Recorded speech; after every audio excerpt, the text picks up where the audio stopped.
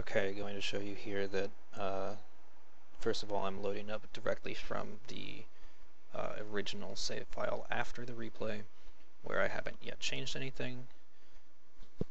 You can see it didn't ask me, you know, this is not a end of turn uh, save. I'm going to hit pause here while I enter my password.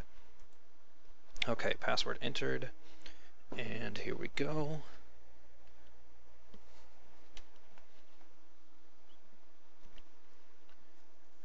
Gonna try to just uh, just show the area that was in this scrum here. Okay, so you can see here, um, this is just an escort uh, task force remaining. Here are all of my uh, air combat task forces. You can see them here. I will cycle through them here. You can see max react 0, 0, 0, 0, and 0. And you can see, you know, you got the aggression ratings uh, here which I already posted about.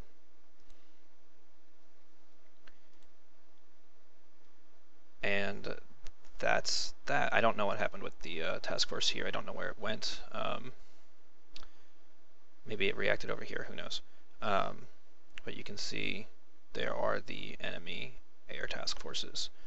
Um, and that is, that's that. I think that's all I needed to show here with what my settings were, were at, can see, you know, follow, direct, absolute, same here, same here. This one I didn't do. And again, this one I didn't do, but uh, at least on the direct and the absolute, but they still ended up going where they were supposed to. Um, and you can see the, the task force I had them set to follow was uh, further south, one of those surface combat task forces. And uh, that's that.